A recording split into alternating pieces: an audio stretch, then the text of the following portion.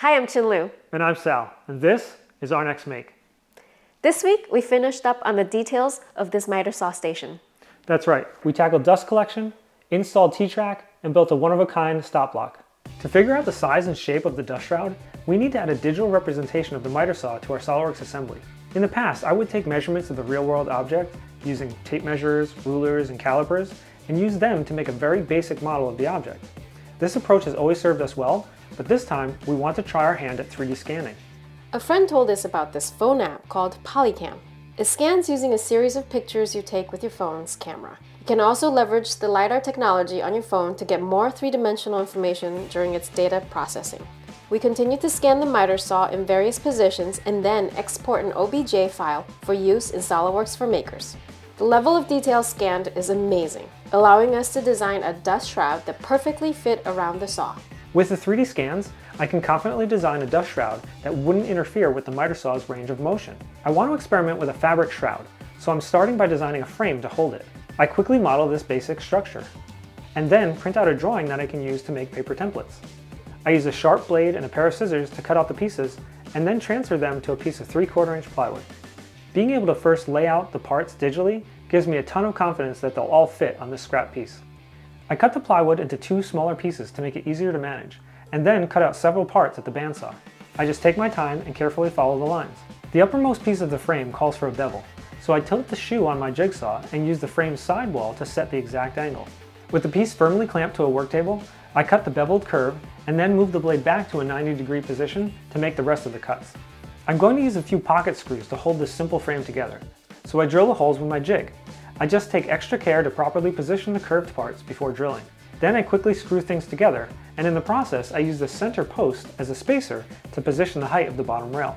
As I've done in all of the other workshop builds so far, I applied a coat of primer and then two coats of red paint. Most of this frame won't be seen, but I find it a good practice to get a protective coat on all of the surfaces anyway. Now I can start to prep the opening for the dust chute. I drill a pilot hole for my router and then use a flush trim bit to follow the opening we previously cut when building the miter station. The router can't reach all of the laminate, so I use a sharp utility knife to finish the job. To figure out how much material I'll need to make the chute and the shroud, as well as what shapes I need to cut, I use SOLIDWORKS sheet metal commands.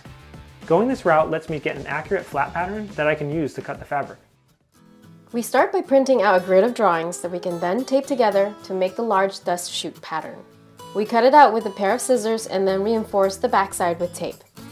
After cutting the pattern out, we trace it on the fabric using a white colored pencil. We do the same with the smaller dust shroud pattern.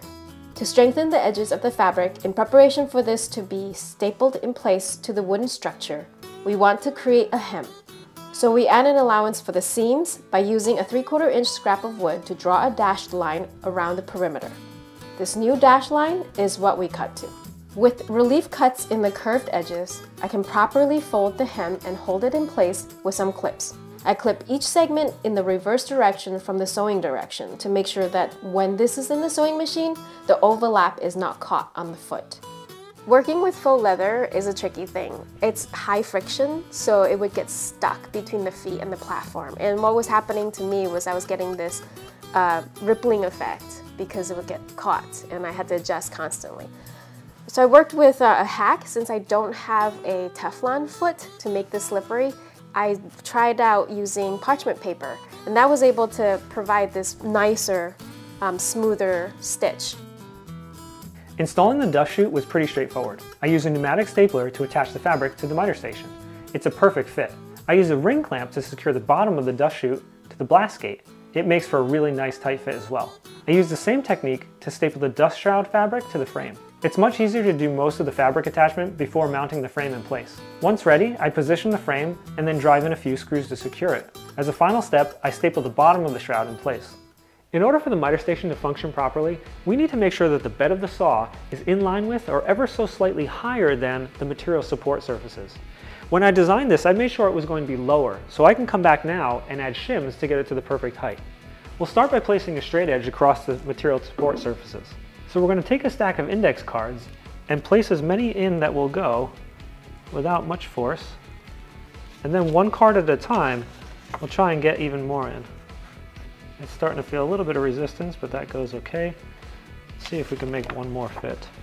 All right, that's about as far as it'll go. So we can take this now and use a set of calipers to dial in the exact amount. With the thickness measurement in hand, I want to also measure the feet on the miter saw. So I tilt it up on its side and rub a pencil across the foot to transfer its shape to a piece of paper. Then I jump into Xdesign to model a few shims. Of course, I can make shims out of a few pieces of wood cut to the right thickness, but I want my shims to also act as stop blocks that help me perfectly position the saw anytime I need to remove it and then replace it. So I take a few minutes to model two front and two rear shims, and then I print them out. I only have green filament on hand, so I quickly spray the pieces with white paint. Once dry, I can place the shims in each corner, making sure they fit snugly. And then I hold everything in place with a few clamps and screws. I'm about to cut the slot for the T-track, so I've set up a board to act as a straight edge to guide my router. But if I'm honest, I'm a little bit nervous that I'm going to mess things up, so I'm going to set up a second straight edge to keep the router trapped in place. Before making the cut though, I have to set the proper depth for the bit. With the bit lowered to be flush with the tabletop, I place a piece of track under the plunge stop and then lower and tighten it. This produces perfect results, and with this setting, I make grooves for the T-track on both sides of the miter saw. Then I set up to make shallow grooves for the measuring tapes. I set the bit depth in the exact same way and then route the grooves. The T-track is made of aluminum, so it can be cut to length using woodworking blades. I miter one end to match the chamfer on the edge of the miter station and then screw the track in place. To precisely attach the measuring tapes, I have to first set the miter saw in place and secure it with a few screws. Then I can take a measurement from the tip of the blade's teeth to the edge of the table. I cut the tape to that measurement using a pair of scissors, remove the sticky back tape, and install it. The last thing this miter station needs is a stop block for repeat cuts. I start by making the tightening knob and locate the center of my pieces before taping them together. I drill a small pilot hole to transfer the center mark through all three pieces and then proceed to make a series of through holes and counterbores to make room for the T-nut that I'll eventually trap in this glue up. With most of the holes drilled, I lightly tap a T-nut into place to make marks where I'll drill pilot holes for the tines. This will make it much easier to fully seat the T-nut just before gluing the pieces together. I tape and clamp the pieces together and let them sit for a few hours before continuing to work on them. To draw the shape of the knob, I grab a nearby roll of Teflon tape and use the container to draw different sized arcs. I connect them with straight lines to create an oblong shape and then cut things out on the bandsaw. I take my time when working with small parts like this, and as always, I keep my fingers far from the blade. I smooth out any rough areas left by the bandsaw and then round over the edges on my tiny router table. Because the part is so small, I use a paddle to keep my hands away from the bit. The little bit of burning that's created is cleaned up with a bit more sanding. Now I can start making the actual block part of the stop block. I suppose I could just create a simple square block, but I want to see if I can amp up the design a bit. So I cut a piece of white oak to just over 20 inches long and start to make a spline that keeps the block centered in the T-track.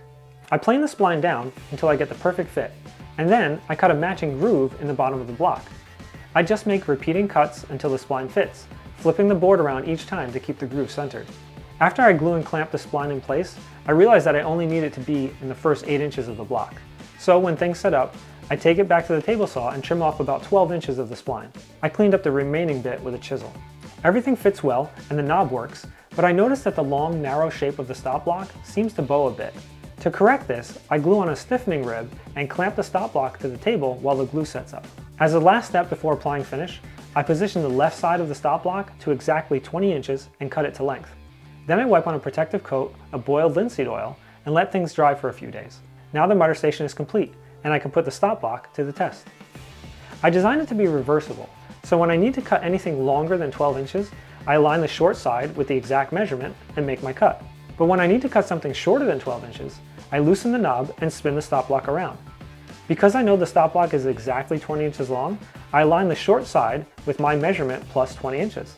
Of course, when cutting short pieces, I take every precaution to keep my hands safe and use an accessory like this hold down stick.